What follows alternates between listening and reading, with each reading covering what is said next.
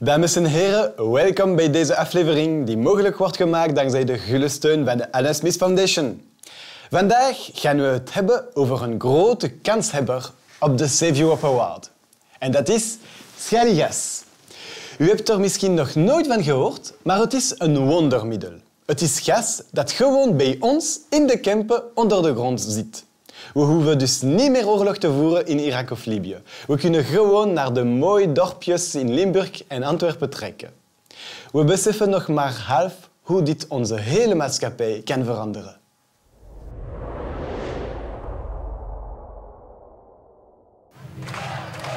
Er wordt momenteel helaas vooral in slechte termen over schaliegas gesproken. En dit vooral in Frankrijk en Nederland, waar organisaties zoals Friends of the Earth actief zijn. Deze nieuwe energiebron is nogthans een echte kans voor de Europese economie. Waarom schaliegas? Vandaag zijn we verplicht om een groot deel van onze energie in het buitenland aan te kopen. Dit betekent dat onze economie volledig afhankelijk is van de schommelende marktprijs. Onze politici trachten ons te overtuigen dat we moeten evolueren naar groene energie en dat we ons energieverbruik moeten optimaliseren. Maar kunnen we eigenlijk wel minder energie verbruiken? Nee. Schaliegas is dé onverhoopte oplossing voor ons energieprobleem. Vooral nu blijkt dat er in onze Europese bodems een overschot aan schaliegas zit. De techniek om schaliegas te winnen is zeer eenvoudig en betrouwbaar. Het volstaat om een heel diepe put te boren tot je het schaliegasgesteente bereikt. Daarna worden de boringen horizontaal over verscheidene kilometers voortgezet. Vervolgens injecteert men, onder zeer hoge druk, grote hoeveelheden water, zand en chemicaliën in de boorputten, waardoor het gesteente breekt. Deze oplossing infiltreert in de duizenden gasbellen en duwt ze naar de oppervlakte. De gaswinning is reeds na enkele maanden afgelopen, waarna men het grootste gedeelte van het water kan recupereren, zodat de bodem niet te erg vervuilt. Dankzij schaliegas kunnen we zonder schuldgevoel zoveel energie verbruiken als we willen. Eindelijk is men zich in België bewust van het potentieel van schaliegas. Een hoop geologen verzamelen zich dicht bij namen, want grote oliemaatschappijen zoals BP, Shell en Quadrilla verwachten maar één ding, de boringen zo snel mogelijk te kunnen opstarten. Ik ben er om de Adam Smith Foundation te vertegenwoordigen. Pourquoi tant de scientifiques étrangers se rassemblent ici à Namur Mais En fait, c'est pour examiner des, des roches qui seraient susceptibles de contenir des gaz de schiste. Et donc, vous savez que c'est une thématique qui, est, euh, qui fait beaucoup de débat actuellement. Et euh, force est de constater qu'en fait, nos pays voisins sont bien plus avancés sur la question euh, que nous. Et donc, il était temps pour les scientifiques belges, pour les géologues belges, de se réunir, de se mettre d'accord, de discuter un petit peu de ce sujet, avant de communiquer vers le public. Dus ik zou zeggen dat het een, echt een urgentie is dat we daarop, daarin... Uh... Er is een urgentie dat, dat men inderdaad uh, nagaat waar dat men investeringen moet gaan doen. En schaliegas is één van die mogelijkheden. De politici in België zijn een beetje traag. De politiekers zouden inderdaad rond deze problematiek, die toch ook uh, een belangrijke economische impact kan hebben op het uh, land, daar zouden ze inderdaad zich beter moeten vormen en hun ambtenaren ook. Er is enkel initiatief gekomen van de Liberale Partij naar mij toe bijvoorbeeld om uh, eens een studiedag te organiseren of een studieavond. Bent u toch positief voor de toekomst? Of, uh, want... Zonder twijfel in de zin van uh, ik ben ervan overtuigd dat er schaliegas in de Vlaamse en Waalse ondergrond zit. Of we die nu morgen gaan exploiteren, of binnen 10 jaar, of binnen 30 jaar, of binnen 40 jaar. Uh, het zal zo zijn dat gezien de toename in energieconsumptie in, uh, in de wereld, gaat de vraag naar energie altijd maar toenemen. In Nederland zijn we druk bezig, al jaren. En Engeland ook, in Polen. Ja, ik zou de grote verantwoordelijke van uh, Quadrilla moeten ontmoeten om hen te pushen om hier te Wilt u dat echt? Ik weet niet, voor de economie van Wallonië het zou misschien. Ja, nou, misschien. Nou, ik zal het doorgeven, maar ik geloof niet dat er veel... Uh, nee. We hebben al genoeg te doen. Je moet de Adam Smith Foundation niet onderschatten. Na enkele telefoontjes heb ik een afspraak met de CEO van Quadrilla Nederland. Nochtans schuwt hij de pers en weigert hij vaak interviews. Niet alle journalisten zijn zo betrouwbaar als ik.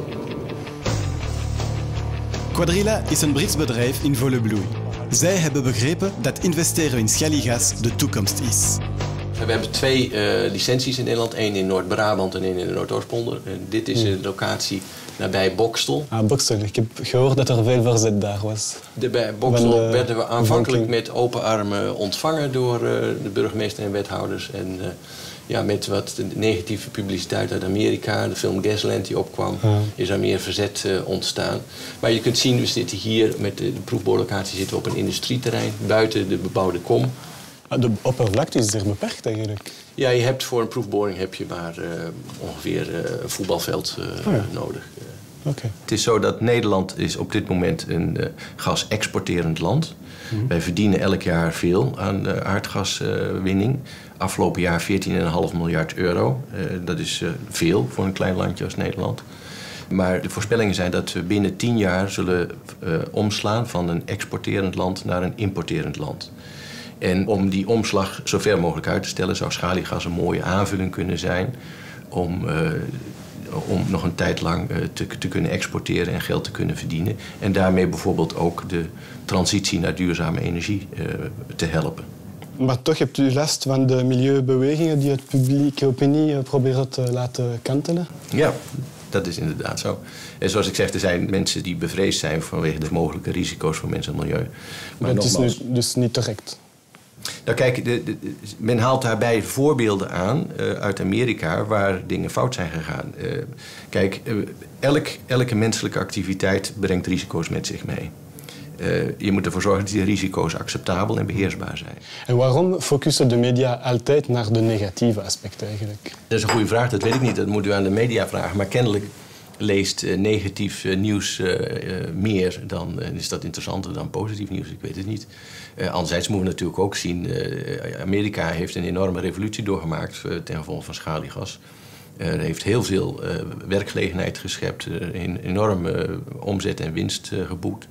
Ehm, dus daar is in die zin natuurlijk ook positief nieuws over schaliegas te melden. Maar het is altijd heel interessant kennelijk op, op, op de, de negatieve punten in te zoomen.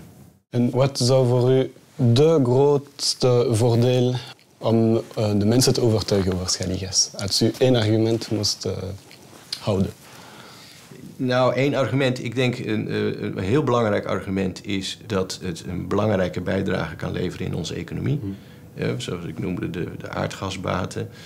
Dat de schaliegasvoorraad, die nu geschat wordt op 200 tot 500 miljard kub, een waarde van tientallen, misschien wel 150 miljard euro eh, vertegenwoordigt.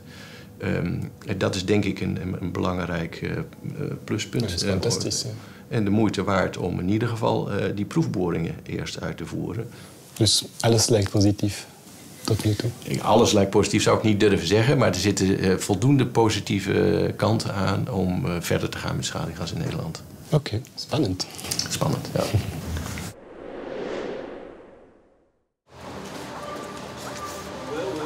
Het is duidelijk, we moeten zo snel mogelijk in België beginnen boren. Zelfs de groenen moeten dat toegeven. Ik hoop dat ze niet lastig gaan doen met cijfers en studies, maar dat ze openstaan voor een betere wereld.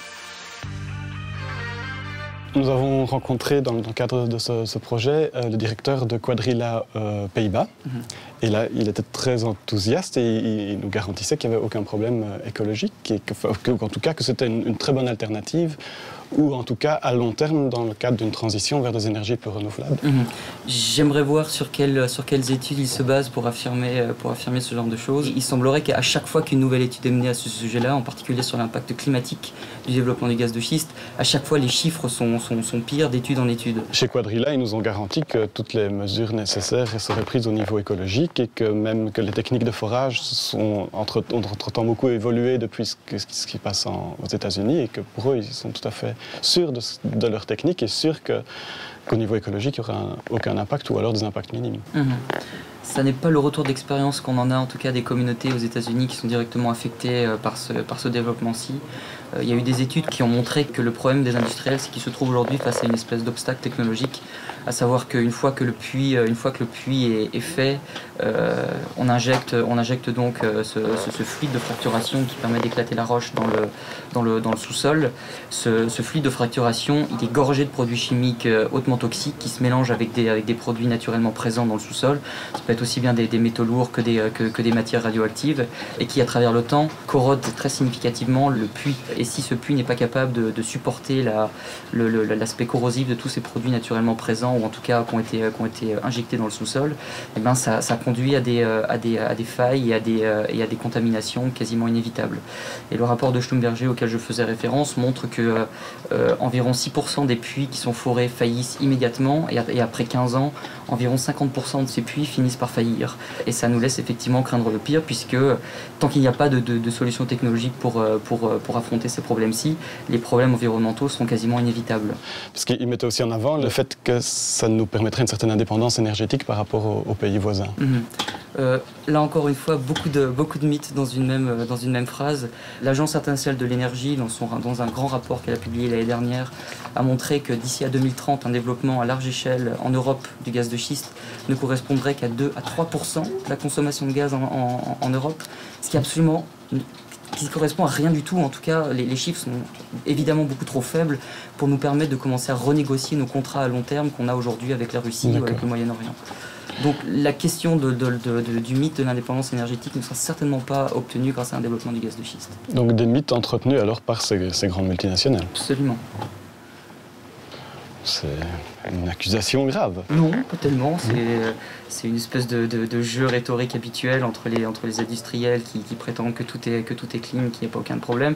On a eu le cas avec le tabac il y a, il y a, quasiment un siècle. On a eu le cas avec l'amiante avec il, y a, il y a quelques années. On a eu le cas, on a eu le cas avec le, plomb également dans les années 20 et les années 30. Ça a toujours été le, même, le, même jeu où les industriels tirent, tirent la corde jusqu'à ce temps que le, que le, que le poteau rose finisse, finisse par être découvert et admis par l'ensemble le, par de la société. C'est exactement le même, euh, la, même histoire avec le gaz de schiste. On attend juste que cette espèce de bulle spéculative qui entoure le, gaz aux États-Unis finisse par, euh, finisse par exploser pour, pour montrer que, que, non seulement les impacts environnementaux sont majeurs, mais qu'en plus les atouts, euh, les atouts économiques et financiers sont, sont plus que minimes. Blijkbaar zijn voor de groene miljarden euro's winst een pulsschil. Ze geen oog meer voor de realiteit. Elke menselijke activiteit brengt risico's met zich mee. We staan hier in de Kempen. Het is hoogstwaarschijnlijk dat ik me boven een grote gasvoorraad bevind. Dit zou enorm voordelig zijn voor onze Belgische economie. De bevolking en onze politici zijn zich er niet voldoende van bewust. Het is belangrijk om de mensen hier duidelijk te maken dat enkele kleine ecologische zorgen niet moeten opwegen tegen de grote economische voordelen.